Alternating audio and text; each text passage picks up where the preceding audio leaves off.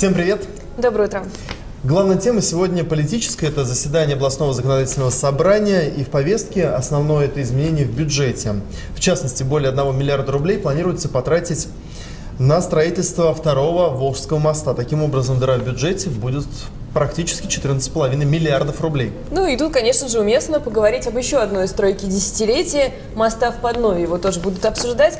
Для создания проекта депутаты предлагают создать новое юридическое лицо. Для этого необходимо ввести корректировки в закон области. По их мнению, так мы сможем привлечь инвесторов. Ну и, конечно, обсудят, пусть и с небольшим опозданием, Потому что пожары уже начались, ответственность за выжигание сухостоя. Штраф может составить до 500 тысяч рублей. Колоссальная сумма, вот только у каждого дома полицейского, конечно, не поставишь.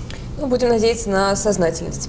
Анонсы. Сегодня в Нижнем Новгороде весь день работает Павел Астахов, уполномоченный по правам ребенка. В 11 часов он встречается с заместителем губернатора Сергеем Потаповым. Там сейчас работает Ярослав Гунин. Он, собственно, нам и расскажет все подробности. Ну, а культурный уикенд начинается уже сегодня. Приятно об этом думать. А в медиастрайк-холле да, пройдет встреча с писателем Захаром Прилепиным на тему «Жизненная позиция подростка. Роль семьи и общества». Ему, как многодетному отцу, эта тема, конечно, крайне близка. Перейдем к новостям, которые сегодня определенно будут обсуждаться в интернете.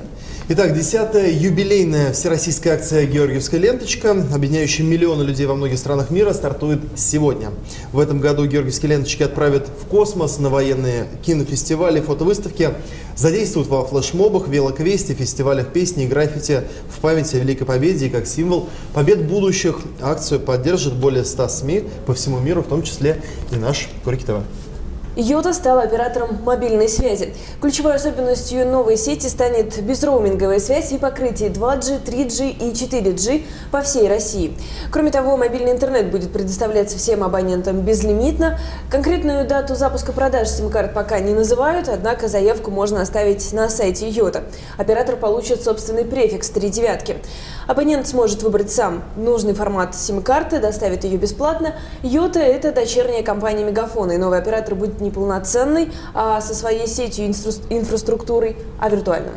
Стендап антишоу в Нижнем Новгороде периодически организует э, так называемые открытые микрофоны, когда каждый желающий может выйти на сцену и попробовать себя в юморе пошутить. Сегодня один из таких вечеров. Кафе кино в 7 вечера. Помимо выступлений самих стендаперов, не побоюсь этого слова, можно и самому выйти на сцену. Ну, будем надеяться, что вам удастся, если вы решитесь на это избежать э, неловких ситуаций с тихим залом.